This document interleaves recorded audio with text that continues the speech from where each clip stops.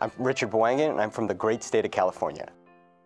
California is situated on the west coast. We have very large geography that varies from mountains to desert to coastline to inland valleys. We are the movie capital of the world, so you have Los Angeles, California. You had Arnold Schwarzenegger, who was uh, governor of the great state of California, Steve Jobs, who uh, was, uh, grew up in Silicon Valley and founded Apple Computers, uh, Elon Musk. Uh, we have a lot of uh, movie stars and television actors who also hail from California. We are also the tech capital of the world, in famous Silicon Valley in San Francisco, where you have great technology giants like Google and Facebook and Twitter and Intel, who are all based in, in, in San Francisco.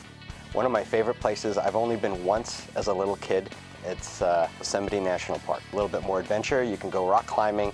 They have a very famous uh, rock stone called El Capitan. In fact, in some of our big cities like Los Angeles and San Francisco, you have almost 20,000 Pakistanis. Fresno is one of our largest agricultural cities in the nation. California is, is a very big agricultural state as well, so, uh, so it's no reason why Fresno and, and Lahore are sister cities.